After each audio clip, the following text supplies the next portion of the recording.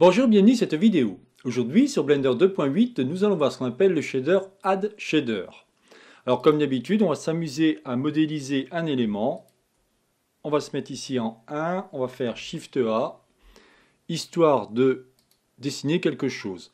Cette fois-ci, je vais tout simplement, on va s'amuser à dessiner juste un petit pion, un pion d'un jeu d'échecs. Euh, alors pour ceux qui sont intéressés, j'avais fait sur mon laboratoire savoirpourtous.eu euh, au niveau de Blender 2.7, j'avais fait une, construction, enfin compte complète du jeu d'échecs. Bon, au cas où, hein, là je vous montre l'image au cas où, mais c'était si ceux, qui étaient intéressés. Je vous marquerai au cas où le lien dans ma description YouTube, comme ça vous saurez ce qu'il en est.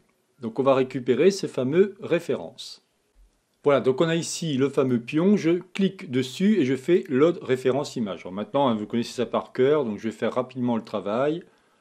Se mettre à peu près ici, on va faire en sorte d'utiliser l'alpha pour descendre tout simplement cette transparence, pour pouvoir placer mon trait, simplement là je suis pas mal.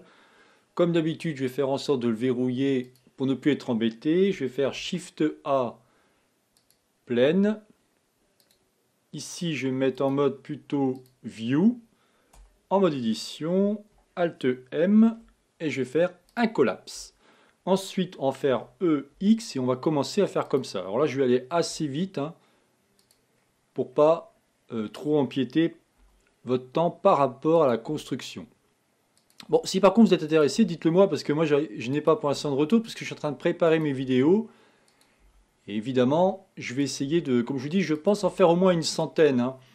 Euh, donc il y a de quoi faire, mais à chaque fois vous verrez que je vais faire en sorte de parler de toujours un seul, euh, une seule boîte ou une seule node. Alors pendant que je parle, vous voyez, je fais toujours des E, E, E pour extruder. Hein. Il n'y a vraiment rien d'extraordinaire. Par contre, vous voyez, je me personne une chose, c'est que j'ai oublié euh, de retracer mon trait. Par contre, vous voyez, là, j'ai oublié quelque chose, c'est que j'ai oublié de le remettre à peu près au niveau. Bon, c'est pas très grave. On va quand même faire quelque chose d'intéressant. Alors, on a presque fini.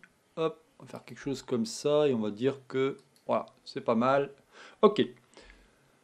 Je me mets en vue de dessus, je sélectionne tout le monde. Hein. Maintenant, on pourrait presque le réciter par cœur, hein, un peu comme une, une poésie, une récitation. À force, on connaît ça par cœur. Et on va faire quelque chose comme ça. Tac. Ici, je vais mettre à 12 steps. Ici, évidemment, pour ceux qui suivent ma vidéo, qui suivent mes vidéos, parce que si la personne ne suit pas mes vidéos et qu'il arrive euh, dessus, je suis désolé, mais en gros, si vous voulez, j'ai utilisé l'outil Spin qui permet de faire une révolution à 360 degrés et j'ai défini au niveau de mon step 12 une valeur paire pour être sûr à 100% de ce que je fais. Là, je vais tout sélectionner. Je vais faire Alt M et je vais faire By Distance pour tout simplement enlever mes doublons. Et vous pouvez le voir ici, Remove 11 vertices. Parfait. Au niveau de mon empty, je vais faire en sorte de le désactiver, enfin pas l'empty, ma référence, pardon. Et ici, tant qu'à faire, on va faire un petit modificateur Subdivision Surface pour pouvoir avoir tout simplement, alors il est ici, quelque chose de plus joli. Voilà. Hop, un petit un shade smooth. Ah, il veut pas. Pourquoi? Voilà, ça y est, parfait. Qu'est-ce qu'il va nous rester à faire? Il va nous rester à faire un Shift A pour mettre simplement un plane. On va le mettre en mode World on va se mettre en mode édition, S10 pour tout simplement agrandir 10 fois. Et on est pas mal là. Vous voyez par contre il y a un truc qui va pas, j'avais pas fait attention. Bon, c'est pas très grave. Hein.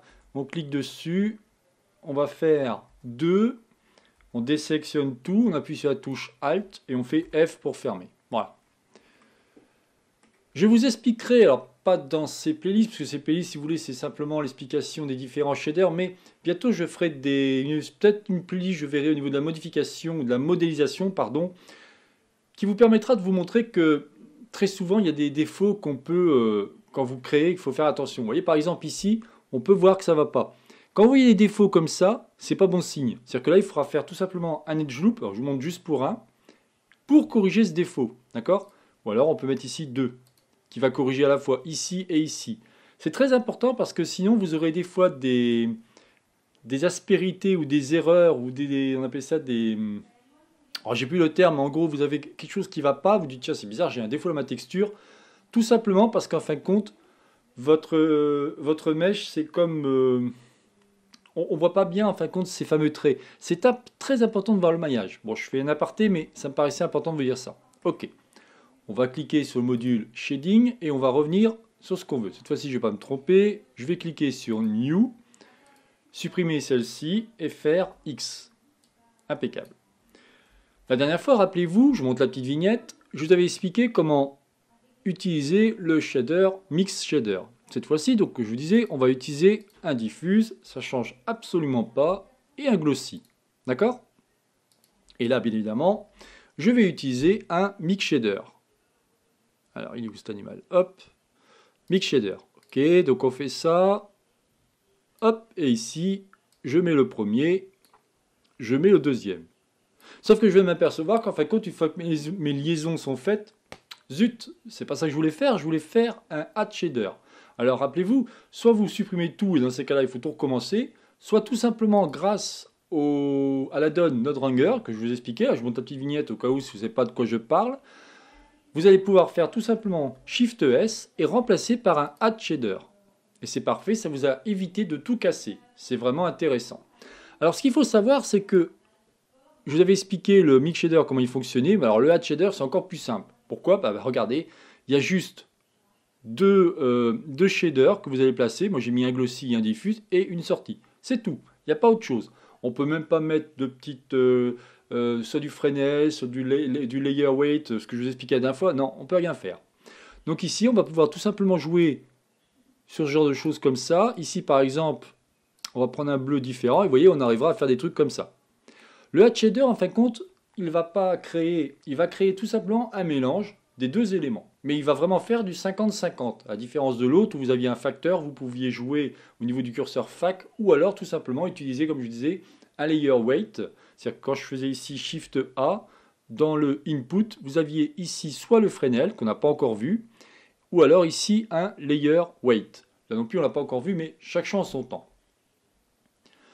Petite chose aussi, puisque je vais commencer à vous expliquer un peu comment cela fonctionne, si je clique ici sur une case et que j'appuie sur M, M en fin de compte veut dire mute. Ça veut dire que lui, qu'est-ce qu'il va faire? Il va mettre en pause le shader. Donc j'appuie sur M, d'un seul coup, voyez, il est devenu euh, sa couleur normale. Je réappuie, il est comme caché, on va dire grisé, donc inactif. Très intéressant. Regardez par exemple, si je fais je remets ici et j'appuie sur celui-ci, j'appuie sur M, bah là il ne se passe plus rien puisque... Donc vous voyez là c'est... On a cliqué sur M pour faire un mute et vous apercevez que malgré qu'il qu'il supprime tout, qu'est-ce qu'il fait? Il a créé une liaison, vous pouvez bien le voir ici, afin de garder un diffuse. Je réappuie sur M. Voilà ce que je pouvais vous expliquer sur le shader Add Shader. Voilà, c'était donc la chaîne Ça va pour tous, réalisée par Jean-Michel. Si vous avez aimé cette vidéo, n'oubliez pas de liker ou tout simplement vous abonner à ma chaîne. N'hésitez pas à me faire des commentaires, je me ferai un plaisir de vous répondre. Je vous souhaite donc une bonne journée et à la prochaine vidéo. Bye bye